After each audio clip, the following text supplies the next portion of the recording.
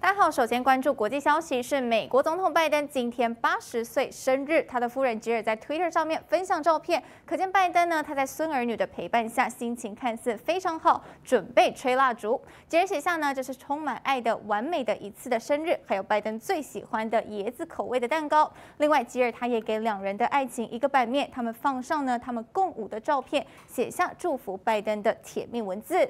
那么，尽管拜登现在已经八十岁了，但是他依旧拥有。足球梦，而且不改幽默个性。随着世界杯的开打呢，拜登也亲自提前呢是打给即将在二十二号凌晨要上场的美国队，替他们来打气。但是呢，没想到第一句话，拜登就幽默的引用美国老歌的台词：“教练让我上场，我准备好了。”瞬间缓和球员们紧张的气氛，逗得大家传来一阵笑声。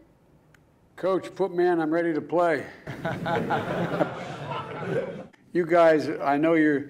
The underdogs. But uh, tell you what, man, you got some of the best players in the world on your team, and you're representing this country, and I know you're going to play your hearts out. So let's go shock them all. Keep trusting in one another. Play as hard as you can, and you know, for you and your families, your teammates, and, and the whole country's rooting for you.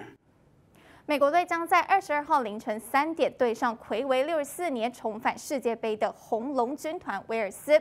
外界期待 B 组脱颖而出，不过呢，美国队在 B 组小组赛中其实场场都是硬仗，因为除了威尔斯以外呢，英格兰可以说是本届的夺冠大热门。而最后一支要碰头的伊朗队，两国更被称为是世仇，因为呢，美国在伊朗研发核武，对这个事情呢，一直对伊朗寄出制裁，因此呢，在球场上更成为争针锋相对的两国对手。那么世界杯在台湾时间二十一号凌晨开踢，每支队伍都卯足全力，共同的目标就是要夺冠。而这一次的金主呢，更打破的。以往的记录，奖金呢？赛事总金额是高达四点四亿美元，折合台币一百三十七亿。各国代表队如果打进分区小组赛，就能够获得九百万美元，折合台币是二点八亿元的奖金。而重头戏总冠军则有四千两百万美元，等同于台币十三亿。相较于二零一八年的总冠军，总冠军的奖金呢，这一次是足足高出了四百万美元。那么卡达耗资将近两千三百亿美元打造一个。最贵的体育场开幕式也投入上百万的英镑，就是要让世界的目光全部都聚焦在足球。不过呢，因为在开幕之前，卡达世界杯他们已经被蒙上了有关人权争议的阴影，包括苛刻对待外籍劳工、上千名移工因为公安意外死亡，还有卡达球队传出收贿的丑闻等，导致许多的西方国家因此反世足。英国卫报报道，英国主流媒体 BBC 他们在开幕的时候就完全忽略了仪式，直批评卡达对待移工的待遇，强调国际足球总会的腐败，并检讨卡达对同性恋的禁令。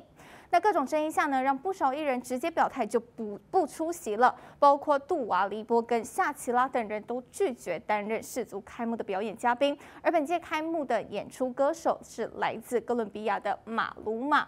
最近呢，他受访的时候被主持人问到对于卡达糟糕的人权问题有没有疑虑的时候，马鲁马他表示呢，他只是来享受生活，还有派对跟足球的。但是没想到主持人他却继续追问，这样是不是在为卡达政府来洗？白马鲁马他立刻露出不悦的表情，并在确认不一定要回答问题之后，气到直接走人，场面相当尴尬。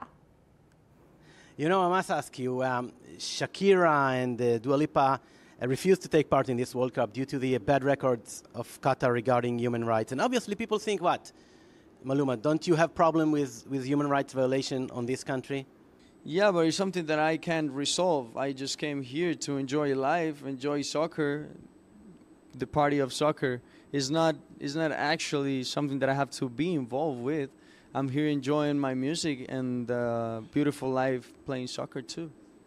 But you, can you understand just people who gonna say that by the very, by the very presence of you here, you're like helping whitewashing whitewashing. I understand. The, uh, Do I have to answer that question? Okay. No, but I'm just asking that people are gonna people are gonna ask. You don't do that. What the problem? I mean, I'm rude. Yeah. Why I'm rude, Maloma? Yeah. I don't think. I, I think that this is what people say. This is what people think. 尽管在争议中开幕，但是卡达世界杯当天依旧找来男团 BTS 其中的一位成员登台演唱世界杯的主题曲目，瞬间炒热全场气氛。而今年世足可能上演最后一舞的两大传奇球星 C 罗和梅西，他们在两大牌的合作之下，在赛前同框，让粉丝大喊最美画面。热血打击月中，2022卡达世界杯足球赛正式开幕。全世界三十二个参赛国的球衣战袍像是照了放大灯，变成巨型版，在场中穿梭来去。接着，全身红的舞者大举登场，回顾历届世足赛经典足曲。另一个高潮则是南韩天团 BTS 防弹少年团成员救国帅气登场，一身黑色劲装，救国这回单枪匹马站上卡达世界杯舞台，先大秀舞技，再和卡达当地歌手合体演唱世界杯。官方主题曲，压轴出场的则是本届世足赛吉祥物拉伊普。造型就是个会飞的阿拉伯头巾，大大眼睛，身体随风飘扬。虽然之前曾被吐槽像馄饨皮，但有不少人觉得可爱度破表。而卡达世足杯虽然争议不对，营收却上看台币两千三百三十七亿。两位超级足球明星梅西和 C 罗更在赛前梦幻同框。LV 官方贴出两大足球天王靠在皮箱旁下棋的宣传照，两人帅度互不相让。但原来这照片真的是 P 的。梅西和 C 罗其实没有面对面合照，而是先各拍各的，再合在一起。但尽管如此，已让粉丝沸腾，更加期待两人在世足杯场上的最后一舞。记者综合报道。